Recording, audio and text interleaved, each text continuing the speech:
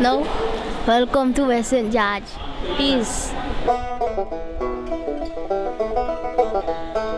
Welcome to the largest school on the island of St. Vincent, West St. George Secondary School. This brand new location opened its doors to students on September 5th, 2011.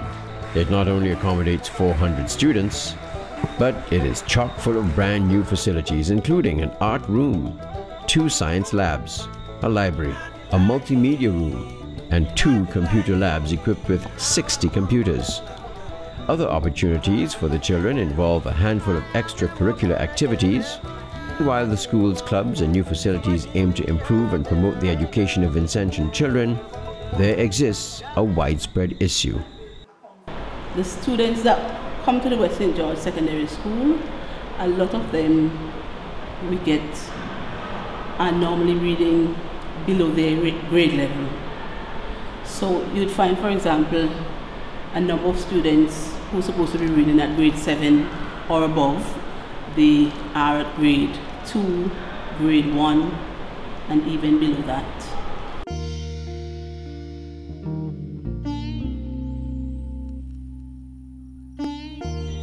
Peace Corps volunteer Chad LaRoche recently proposed an opportunity and a challenge to the kids of West St. George Secondary School. Chad is starting the West St. George Amateur Reporters Club, where he'll use his experience working in a television station to teach students journalism.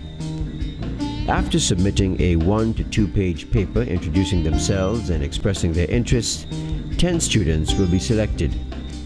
They will learn to identify stories in their school and community, expand upon those ideas, speak confidently in front of a camera, operate a camera, and edit their stories on a computer. Chad asked teachers and students what they thought of such a club. My name is Zoran Cupid and I want to take part because who don't have an education can get one from it. I want to join the club because I like to tell people, I like to ask people questions.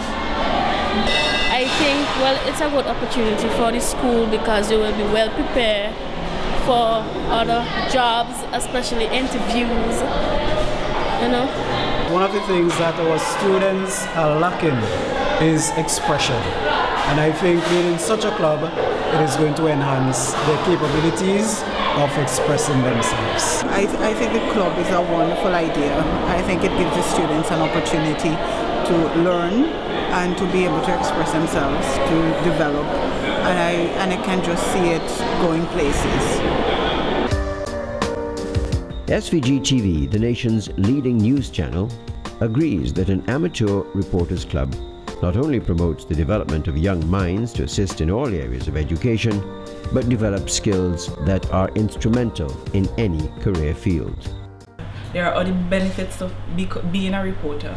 You speak better, you have a better presentation because you're now in the public's eye. So now, basically, if TV stations and stuff like SVG TV would be looking for a person to hire, more than likely they would check with you and the club first, see if there's anybody available that could come into that sort of work field.